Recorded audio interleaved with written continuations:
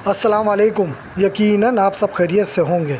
आज हम आए लियाकताबाद सुपर मार्केट अपुआ गर्ल्स कॉलेज के पास एक नर्सरी है। हमने बोला, आपको नर्सरी दिखाते हैं।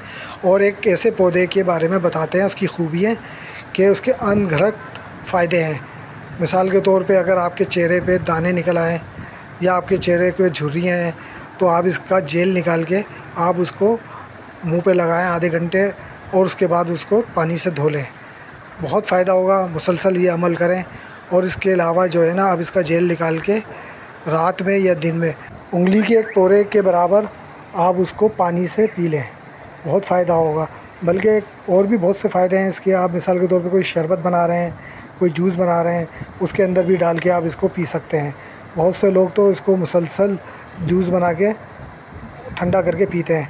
और उससे ये होता है कि पेट के जो कीड़े होते हैं, वो मरते हैं। पेट की जो बीमारियाँ हैं, उसको ख़त्म करते हैं और आपकी जल्द के ऊपर एक अजीब सी आपके जल्द के ऊपर जो है ना रौनक सी और चिकनाहट और नमी सी महसूस होगी आपको। अगर ये आप मुसलसल इसका अमल रखेंगे, पीते रहेंगे इसको, बहुत फ़ायदेमंद है जेल, इसका एलोवेला का पत्ता एलोवेला जो है ना अपने घरों में रखना चाहिए।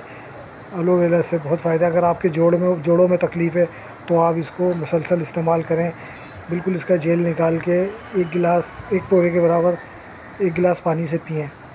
शुगर वालों के लिए इतना फ़ायदेमंद है कि आप इसको मुसलसल इसको इस्तेमाल करें, आपकी शुगर में बहुत फ़ायदा होगा।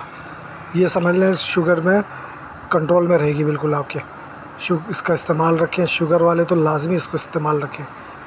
चलें, आपको विज़िट कराते हैं नर्सरी का और मज़ीद पौधे दिखाते हैं। आप इंजॉय करें और इस नर्सरी को देखें।